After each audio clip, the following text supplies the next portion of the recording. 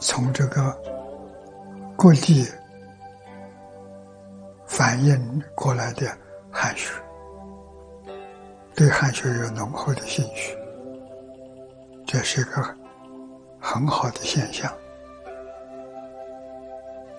对中国要有信心，对中国传统文化有信心。啊，知道传统文化所说的，是正确的，是对的，没有错误。孝亲尊师是根，是两个根。啊，不孝父母，不尊重老师，那个学问道德都是假的，都不是真的。啊，所以中国文化的根，孝道。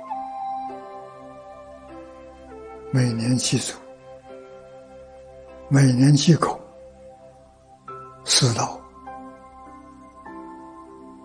这个文化在全世界只有中国有，外国没有。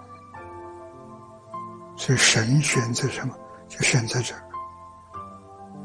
啊，你孝亲、尊师，特别在这个年代，做榜样、做表表率。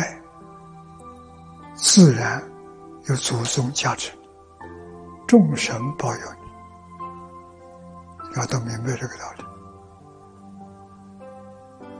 外国人现在还搞科学，相信科学，不相信这些。我们办补习班，补习班最重要的，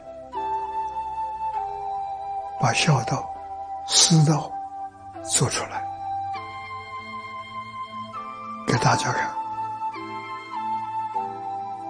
东方的文明，韩国、日本、越南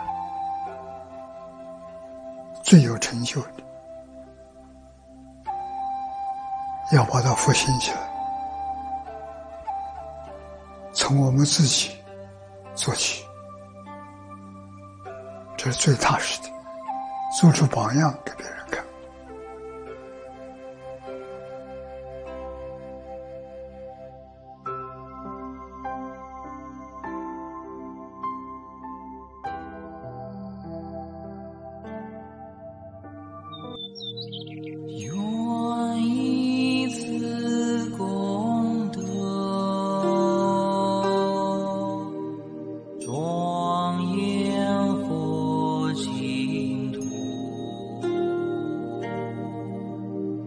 上报。